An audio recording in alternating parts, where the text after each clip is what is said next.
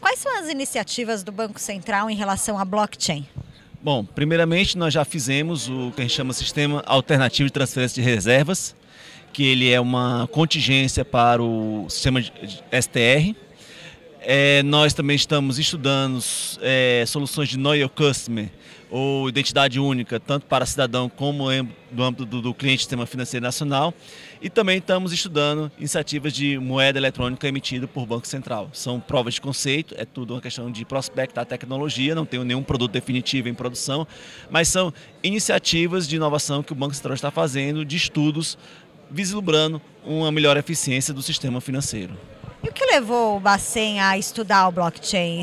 O que, que vocês veem de viabilidade de negócio? É muito interessante que as pessoas tentam usar o blockchain para soluções, modelos de negócio atual.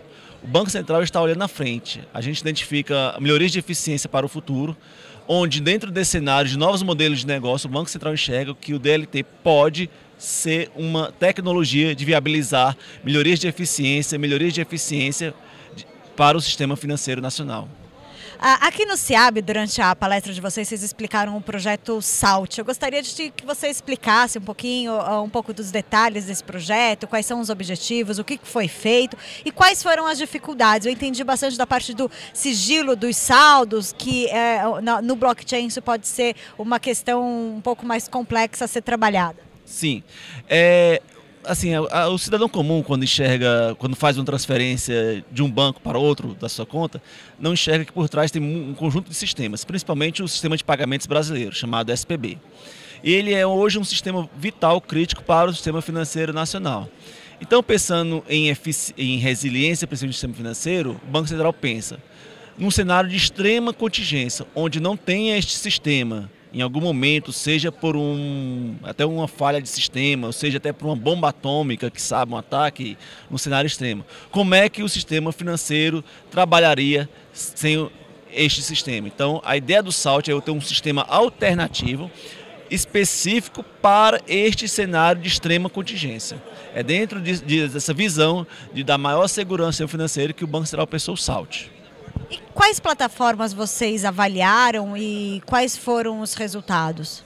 Nós avaliamos diversas plataformas, desde o Ethereum, Hyperledger, Quorum, Corda, é, Block Apps e a nossa visão geral é que existem três características que nós não atingimos conjuntamente nas diversas plataformas, que é a questão da resiliência, privacidade e escalabilidade. Ou seja, essas, eh, nós não enxergamos que essas três plataformas que as plataformas no estado da tecnologia conseguem trabalhar esses três requisitos que atendem ao sistema financeiro nacional. Você, olhando da, pro, daqui para frente, em quanto tempo você acha que o Bacen pode adotar o blockchain para alguma dessas finalidades que você mencionou? E teria já alguma plataforma em vista? Não, assim, primeiramente nós não temos nenhuma plataforma em vista, né? nós somos agnósticos do ponto de vista da tecnologia, mas o que, o que acontece é que não dá para se prever um tempo exato, porque antes de tudo passa-se a pensar por novos modelos de governança e novos modelos de negócio. Então a tecnologia em si tem o seu ritmo, mas os negócios, os modelos de governança têm o seu. Então quando esses dois se encontrarem mais à frente, que na verdade não há, não há como se dizer exatamente se vai ser daqui dois, três, cinco, quantos anos, aí a gente acredita sim que nós é, teremos as primeiras soluções efetivas em ambiente produção em larga escala funcionando usando tecnologia DLT.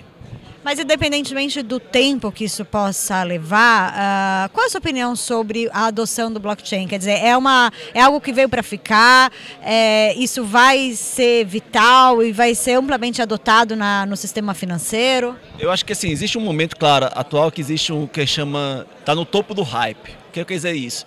Existem muitas expectativas sobre o DLT, do que vai ser o futuro da transformação. É, na minha visão particular, nem todas elas vão se tornar realidade, mas sim, ela, algumas dessas soluções vão se tornar realidade no futuro e vão sim possibilitar é, novos modelos de negócios nesse, é, mais para frente.